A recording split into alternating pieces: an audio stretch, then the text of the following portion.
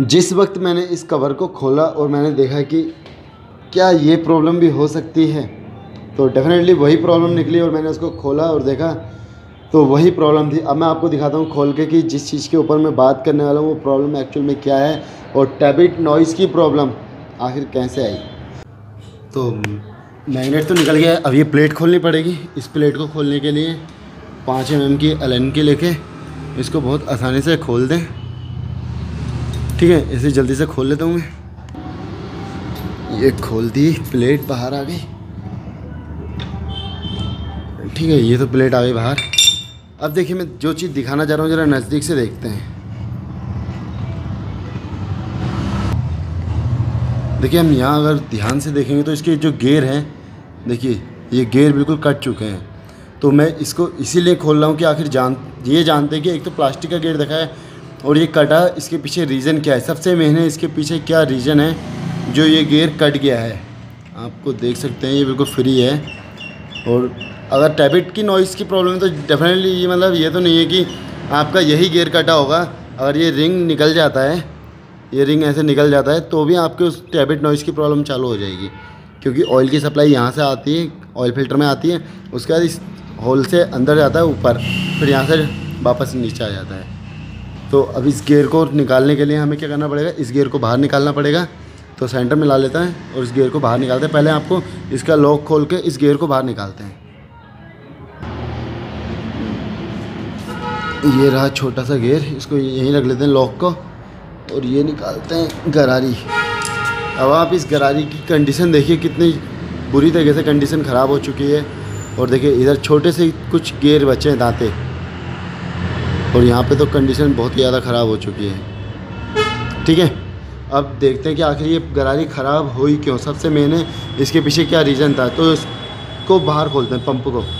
Pump को बाहर निकालते हैं और पता लगाते हैं कि आखिर क्या कारण था। तो जब भी कभी ये गेयर निकालना हो तो सबसे पहले है कि टॉप पिस्टन को टॉप करना बहुत ज़रूरी है। यहाँ टॉप कर दें, इसका, इस गेयर को बहुत ईजी आसानी से बाहर को खींचेंगे और ये गेयर बाहर आ जाएगा। इसको भी साइड में रख लेते हैं और ये बाहर निकाल देते हैं। देखिए, ठीक है, ये सिंपल वाला गेयर होता है। अब रहा ये पंप पंप को खोलने से पहले एक बार यहाँ से सिर्फ़ इसका ये हिस्सा खोलते हैं कि इसके अंदर से कोई प्रॉब्लम तो नहीं है। और अब ये पेज को खोल लेते हैं। इसके बाद देखते हैं कि आखिर इसके अंदर कचरा फंसता है, तब टैबिट की नॉइस आ सकती है। और ये निकाला हमने बाहर। और इसके अंदर रहा एक पंप। अच्छा भाई, पंप बाहर को। तो पंप तो एकदम क्लियर है, सफ़ा, बिल्कुल क्लीन। तो इसके अंदर तो ऐसा कुछ नहीं लग रहा, जिसकी वजह से वो गरारी ख़राब हुई। तो इसके अंदर तो ऐसा कुछ नहीं है, सब क्लीन है। है ना? अब एक ये बोल्ट है, इसको भी खोल देते हैं।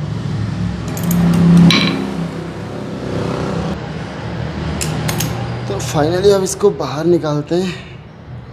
और ये रहा वो पंप का पीछे का हिस्सा। पंप बिल्कुल क्लीन है। कहीं से लेके कहीं तक कोई कचरा, इस टाइप का कोई कचरा तो लग नहीं रहा, जिसकी वजह से वो गरारी कट गई। ये गरारी कटने का पीछे इसका कोई ऐसा कोई ख़ास रीज़न नज़र नहीं आ रहा है। ना ही हमारा गेयर ऐसा है, कोई ख़राब कि गेयर की वजह से कट जाए। तो गेयर भी एकदम बढ़िया है।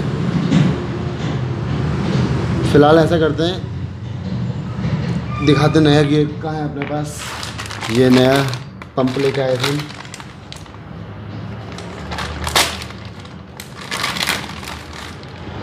नया पंप कुछ इस टाइप से आता है। आठ सौ रुपये के आसपास है ये।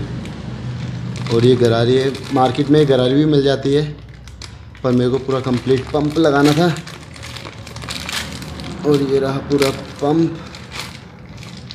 बिल्कुल फिट है तो इसको फिट कर लेते हैं जल्दी से। और देखते हैं जो टैबिट नॉइस है, वो ख़त्म होती है या नहीं। अच्छा पूरी, हर एक चीज़ लोहे की है इसके अंदर। बस एक ये, सिर्फ़ एक ये गरारे प्लास्टिक की दे रखे हैं, इसके पीछे यही रीज़न है कि कई मतलब पंप में कोई दिक्कत आती है तो सिर्फ़ ये गरारी कट जाएगी। ये गेयर ख़राब नहीं होगा, इसीलिए ये गेयर प्लास्टिक का दे रखा है। और इससे आपको बेनिफिट भी है, ये गेयर ख़राब हो, सत्ताईस सौ रुपये के आसपास है। ये आपका तीन सौ रुपये के आसपास, दो ढाई सौ या तीन सौ रुपये के आसपास एक खाली गेयर मिल जाता है। पंप डालेंगे तो आठ सौ रुपये का पड़ जाएगा। तो फाइनली यही प्रॉब्लम थी कि ये गेयर कट गया था टिक टिक नॉइस आ रही थी। अगर आपके साथ भी तो टिक टिक नॉइस इस टाइप से हो सकती है। मैं डेफिनेटली ये तो श्योर नहीं हूँ कि आपके साथ भी यही प्रॉब्लम होगी। कुछ ये इशू रहते हैं, तब मेरे को लगा कि वीडियो बनानी चाहिए। अब देखते हैं डायरेक्टली गाड़ी को स्टार्ट करके साउंड कैसा आता है इसका। तो अब हम देखते हैं कि इसकी टैबलेट नॉइस कैसे ख़त्म होती है। तो अभी मैंने फिट कर दिया, गाड़ी को स्टार्ट नहीं किया है। गाड़ी को स्टार्ट करते हैं और एक एक मिनट के अंदर मेरे ख्याल से आवाज़ ठीक हो जानी चाहिए। गाड़ी को स्टार्ट करते हैं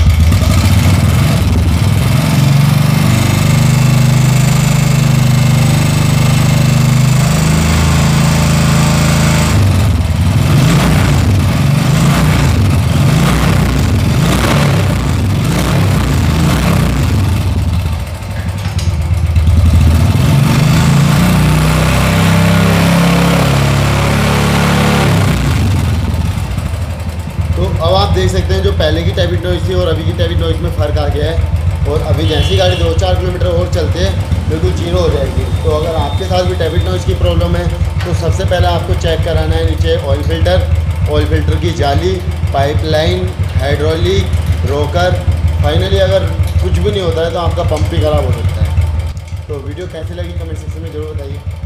फ़िलहाल के लिए जय हिंद बंदे मातरम।